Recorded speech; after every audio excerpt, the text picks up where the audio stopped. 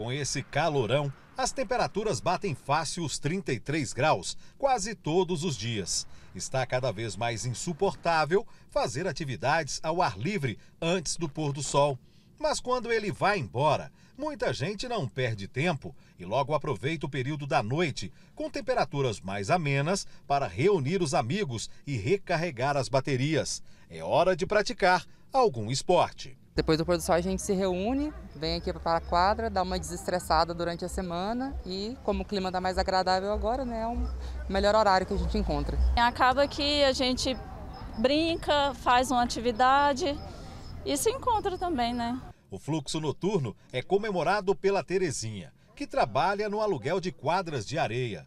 Ela percebeu que o movimento de dia caiu por causa do calorão, mas em compensação, depois das seis da tarde, todos os horários estão ocupados. O pessoal está saindo, né, para se refrescar de alguma forma, né, que acaba ficando muito fresquinho aqui, a areia fica úmida, refresca bastante, eles se divertem e aumenta, o movimento aumentou bastante. Há também aqueles que não veem a hora do expediente acabar para colocar uma roupa mais confortável e jogar uma partida de tênis com os amigos.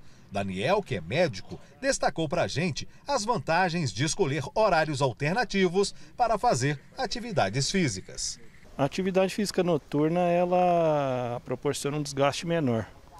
Apesar do, do tênis ser uma atividade aeróbica, a gente correr bastante, transpirar bastante, a gente não sofre com o calor intenso do dia, a temperatura em torno de 37, 38, agora à noite é um pouco mais ameno.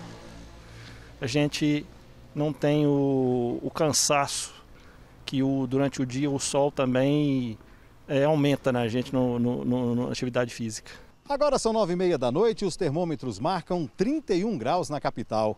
Mas sem aquele sol forte que castiga os goianos, a prática de esportes neste horário é mais prazerosa. Apenas o mormaço que deixa o tempo mais abafado incomoda um pouco. Por isso, os espaços como este disponíveis na capital estão cada vez mais disputados. Após as 18 é o horário mais procurado, por conta do tempo mais, mais, mais fresco um pouquinho, né? Menos quente, na verdade.